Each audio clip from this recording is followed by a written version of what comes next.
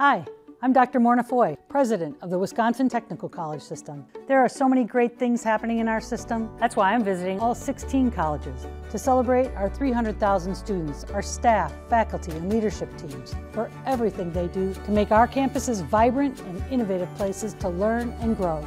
I can't wait to go back to college. The next stop on our tour of excellence is Madison Area Technical College. With seven campus locations, Madison College serves nearly 27,000 students. The newest location is Goodman South, on the south side of Madison, where the college is honoring the area's past while embracing its present. So you'll see when students come in, not only do they see people who look like them, speak their language, but it's reflected mm -hmm. in the walls. We invited all the neighborhood associations to submit pictures to us.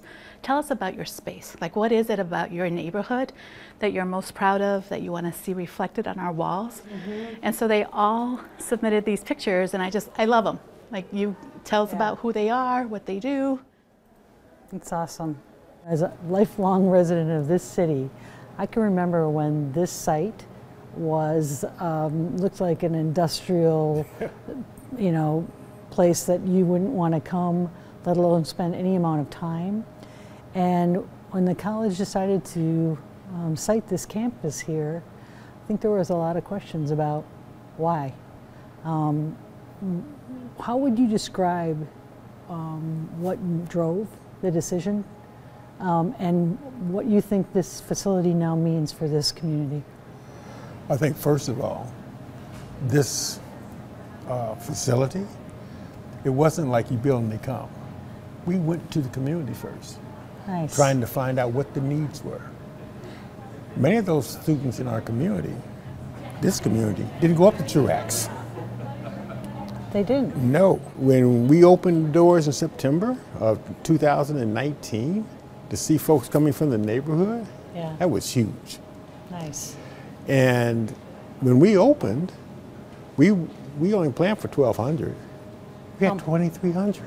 Right away. Right away. You, I, we are the future of healthcare, so it's such an exciting um, time also to showcase what you're doing to make sure that you bring equitable healthcare because when your patients can see themselves in you, they are more likely to have better outcomes. This week you should have started um, reading. We'll be covering delirium, confusion, dementia, understanding dementia and Alzheimer's disease. Using taped fingers, rubber gloves, and blurry glasses, certified nursing assistant students are learning to understand and appreciate the physical and mental challenges many of their patients face. Put all that together and think about what your patients are going through, or your residents, or your clients, right?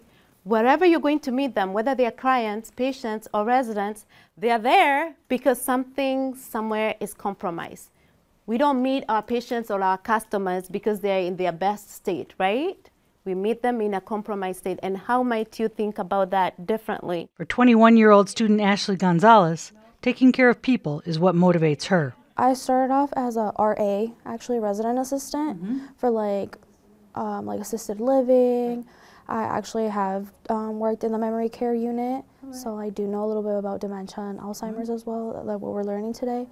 Um, it's just eventually I started that as a job, and then mm-hmm. eventually I found out that it's something I really don't see as a job. It's more of a hobby, and like actually like being a family with those people that you take care of every day mm -hmm. because you become part of their life and all the way around. 17 year old Paul Bursick is following in his mom's footsteps.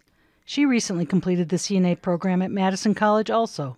She's working her way through uh, Madison College to get her, um, I think, LPN or ADN. Mm -hmm. yep. um, but yeah, she was like telling me about it and telling me as, you know, working as a CNA and how cool it is and how much I would like it. Um, I like helping people. I've kind of always been that way. I want to get my LPN, mm -hmm.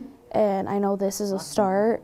And at first, I was like, I have no clue. Like, maybe mm -hmm. I'll just start as my CNA. But already, already halfway through the program, -hmm. I like, I was like, nope, I'm set. This is what I want to do, awesome. and this is how I want to better my future. Mm -hmm. And it's just, I'm Hispanic, so I know that there's not a lot of opportunities before when like my mom was younger and like being able to give and have that opportunity.